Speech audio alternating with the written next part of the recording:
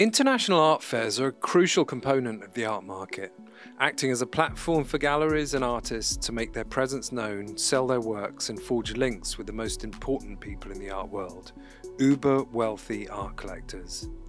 The Armory Show in New York is no exception. Now, among the world's most prestigious events of its kind, the annual fair is considered to be the unofficial kickoff of the New York fall art season, with tens of millions of dollars moving through the fair every single year. But this prestigious event wasn't always so esteemed. In fact, when it was rebooted in the 1990s, many thought it would fail. So let's take a look at the full history of the Armory Show, dating all the way back to 1913. The 1910s represented a dawn of a different time. Einstein was working on a new theory of gravity Telephones were rapidly entering American households, massive skyscrapers were rising on city skylines, and women were marching for their rights on the streets around the country. And in 1913, the International Exhibition of Modern Art, which came to be known simply as the Armory Show, shocked the world and had a profound effect on artists and collectors forever. The show was impressively organised by a group of just two dozen young artists who raised money, generated publicity, transported the art, rented the armory, and staged the exhibition, all without public funding.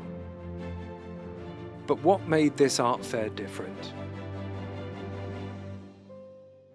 In this period, American audiences were used to seeing Rembrandts and Titians in their galleries, a very realistic type of art. If you saw a female nude, it was very traditional and portrayed perfect classical beauty. In comes the European avant garde. Imagine what it would have been like to see works by Pablo Picasso, Henri Matisse, Marcel Duchamp, Paul Gauguin, Paul Cézanne, and Vincent van Gogh all together for the very first time. Of the 1,400 objects on display, it was the minority of works by European avant garde artists that caused a true sensation, and of course, some outrage. After a blowout success in New York City with over 87,000 visitors, the fair travelled to Boston and Chicago, where students actually burnt paintings by Matisse in protest. But the critical response it received came to represent a turning point in the history of American art. It was a reordering of the rules of art making.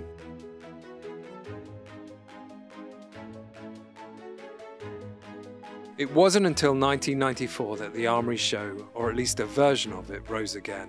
That year, four young downtown New York art dealers had the goal of creating a new art fair that acted as a communal space for emerging artists to show their work in a radical fashion.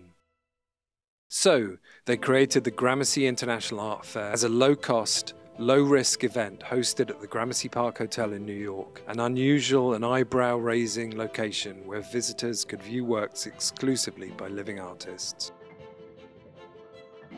Galleries covered the cost of the room plus an administration fee of around $50. Tickets to the fair cost around $5. The hotel room booths doubled as accommodation for many of the gallerists, staying in the room overnight and then opening their booths during the day. In a city that was experiencing violent crime at an all time high and the AIDS crisis having ravaged much of the artistic community, the art mavericks pulled together what would become one of the most successful art fairs in the world.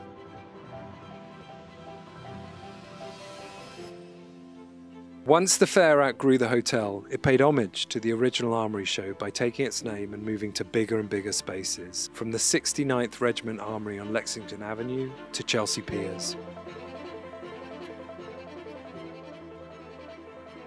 Today, it's held at the Javits Center and is a cornerstone of New York's cultural landscape.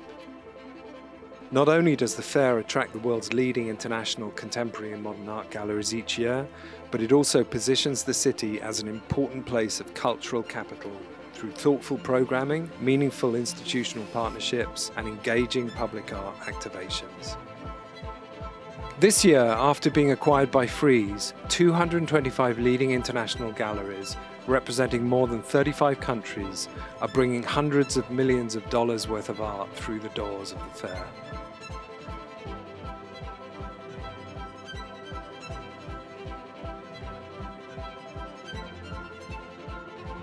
Conceived by a small group of enterprising artists in the early years of the last century, and then rebooted in the 1990s as a gritty alternative to establishment events like Art Basel and Expo Chicago, today some galleries pay upwards of $100,000 to exhibit at the prestigious Armory Show Art Fair. The result? a groundbreaking cultural venue that's become essential to the vitality of the global art market and beyond. And while the artists and the size of the fair have changed over the years, its dedication to showcasing ingenuity and groundbreaking work has not.